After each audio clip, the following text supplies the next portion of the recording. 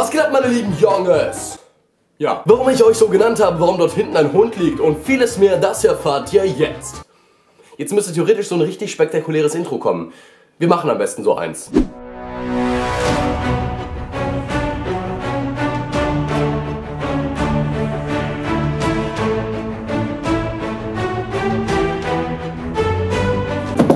Okay, kann mir niemand was erzählen? Ich würde sagen, das war ziemlich, äh, ziemlich gut. Also pass auf, Leute, es ist folgendes. Das hier ist erstmal eine Folge Jonas. Wer das Format nicht kennt, äh, der sollte sich mal schämen. Nee, Spaß, das ist so ein Frage-Antwort-Format, wie eigentlich jeder andere YouTuber auch macht. Ähm, es ist jetzt so, so, passt auf, ich bin arschkrank. Also ich bin wirklich richtig krank. Ich habe gerade eben wieder random Nasenbluten bekommen, weil ich äh, so mega erkältet bin. Kann man vielleicht auch in meinen bisschen gereizten Stimmbändern hören. Hallo! Das war mega attraktiv. Also das nochmal bitte in Zeitlupe. Hallo! So bin ich nun mal. Wie dem auch sei, aber ich habe so eine Kämpfermentalität, also eigentlich nicht, aber heute schon. Und deswegen dachte ich mir, hey, machst du trotzdem ein Video, weil ich brauche ja das Geld. Nein, Spaß. Wie dem auch sei, ist eigentlich egal. Jedenfalls habt ihr mir, ja genau, ihr habt mir ein paar Fragen gestellt und die werde ich jetzt beantworten. Achso, und warum halte ich die Kamera eigentlich in der Hand? Weil ich mein Stativ ähm, so, so ein ganz klein bisschen kaputt gemacht, ein ganz klein bisschen kaputt gemacht habe. Das kann jedem Profi mal passieren. Seid mir nicht böse, aber äh, das, äh, das passiert mal. Deswegen halte ich euch heute die ganze Zeit in meiner Hand. Ja, ihr seid fest in meiner Hand und äh, ich passe gut auf euch auf. Meine kleinen, süßen.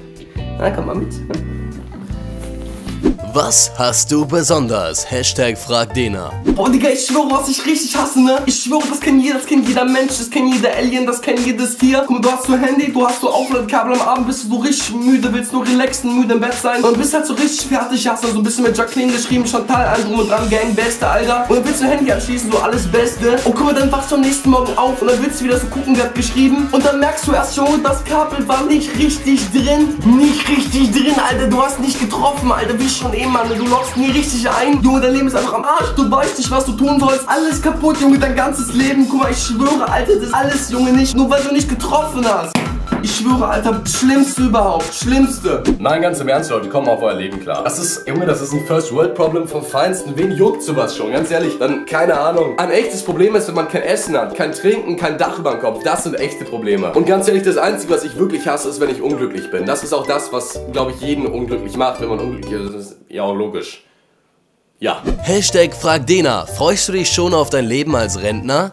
Ren Rentner, Alter, das wird mit T geschrieben. Tja, mein Leben als Rentner. Ganz ehrlich, ist doch eigentlich voll chillig. Wisst ihr, was ich mich manchmal frage? Ist es eigentlich so, dass man als ältere Person, ja, sagen wir mal so mit 60, 70, dass man dann andere Leute im gleichen Alter noch attraktiv findet? Weil ich frage mich so, wenn ich 70, 80 bin und Single, ja, kann ich dann eigentlich so andere 70, 80-jährige Grandmas aufreißen? Weil Junge, wenn ja, ist doch Rentnerzeit die beste Zeit, Alter. Überleg das mal. Man hat richtig viel Zeit, wenn man was im Leben richtig gemacht hat, hat man auch richtig viel Geld. Und Junge, ganz viele Single-Grandmas. Ey, was gibt es Besseres? Hashtag frag Dena. Wie lange bist du schon mit Katie zusammen?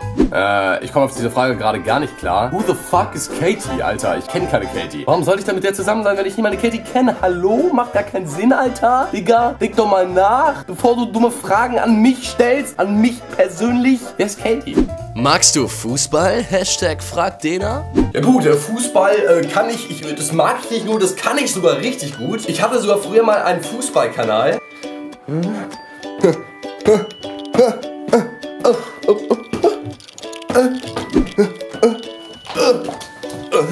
Ohne Witz, sogar mein Hund kann besser Fußball als ich. Guck hier. Dali. Guck, wie der dribbelt. Das kann er besser als ich. Ist echt deprimierend manchmal. Hashtag frag Dena. Nerven dich die Fragen, ob du mit Katie zusammen bist? Ja, ich meine, natürlich nerven die Fragen. Ich weiß nicht mal, wer Katie ist, okay? Und dann fragen mich dauernd die Leute, hey Dena, hey Jonas, Dena, Jonas, was auch immer. Bist du mit Katie zusammen? Ich meine, ich weiß nicht mal, wer Katie ist, okay? Vielleicht sollte ich den Leuten einfach sagen, ich wäre mit Katie zusammen. Ich meine, dann, dann sind alle zufrieden. Ja, okay? Ja, ich bin mit Katie zusammen. Ja, das, das da ist Katie. Hallo? Hi, Katie. Hey, Katie, wir sind jetzt zusammen. Hallo? Katie.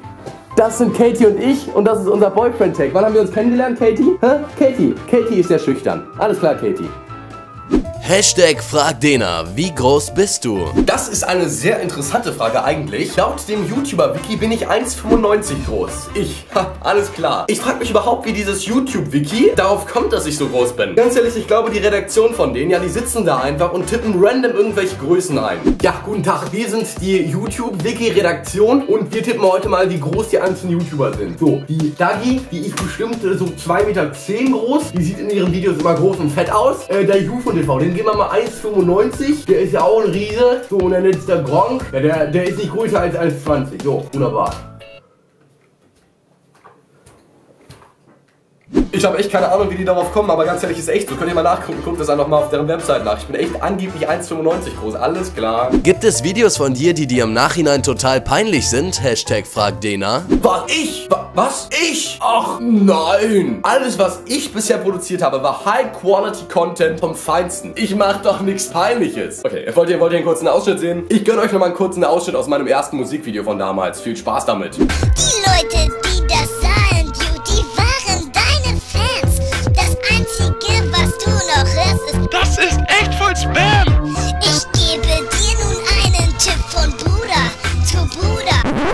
Danke, ich weiß, es war ziemlich geil. Danke, danke. Oh, danke, danke, danke, danke. Ja, meine Freunde, ich setze mich hier mal gerade ein bisschen hin. Ja, das ist oh, oh voll gemütlich hier. Oh. Ich mache nur Spaß. Ich, bin, ich muss ehrlich sagen, ich bin heute echt ziemlich fertig, weil mich die ganze Erkältung ein bisschen fertig gemacht hat. Und deswegen habe ich gedacht, mache ich heute mal ein bisschen verrückteres Jonas-Video. Ähm, das war's also auch schon wieder mit den Fragen. Ich habe neun Fragen von euch äh, vorgelesen und glaube ich keine einzige davon ernsthaft beantwortet. Das muss man auch erstmal schaffen. Ja, da muss man an der Stelle, muss man mich mal für loben. Dankeschön. Ja, aber war halt äh, ganz spontan und äh, ich hoffe, es hat euch gefallen. Wenn ja, dürft ihr natürlich sehr gerne einen Daumen nach oben geben. Bevor das Video jetzt endet, möchte ich aber gerne ganz kurz auf was hinweisen. Das mache ich jetzt mal hier im Liegen. Okay, doch nicht. Und zwar meine beiden Freunde Lars und Dan vom Kanal Scene TV endlich nochmal ein Video hochgeladen, was die nicht sehr regelmäßig schaffen. Da müsst ihr noch ein bisschen üben. Nehmt euch mal ein Beispiel an, zum Beispiel UFO TV. Nee, die beiden haben jetzt zuletzt mal ein Video hochgeladen und zwar über die äh, Background Informations und über, über ein bisschen Behind the Scenes von dem großen Projekt Oberopen. Ein Projekt, wo ich auch eine etwas größere Rolle bekommen habe. Das wird mega witzig einfach. Da kann man sich wirklich als, auch als, als, als eingeschweißter Fan, aber auch als einfacher Zuschauer wirklich richtig drauf freuen. Das wird ein richtig cooles Ding und äh, deswegen äh, kann ich euch das Video nur empfehlen. Ist wieder mal eine Empfehlung des Hauses UFO hier, Milord. Und äh, wer Bock hat, mal vorbeizuschauen, der Link ist unten in der Videobeschreibung und jetzt gleich kommt noch ein kurzer Ausschnitt. Das war's also von mir. Ich melde mich ab. Euch noch einen wunderschönen Sonntag. Ich weiß, heute ist gar nicht Sonntag, aber ey, man kann den Leuten ja mal einen schönen Sonntag wünschen, wenn es geht. Also euch jetzt einen schönen Sonntag noch und bis dann. Ciao, Leute.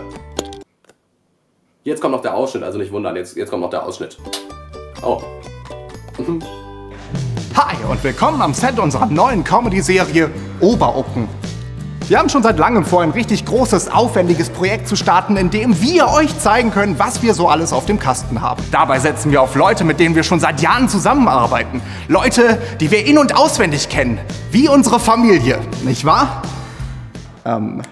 Thomas,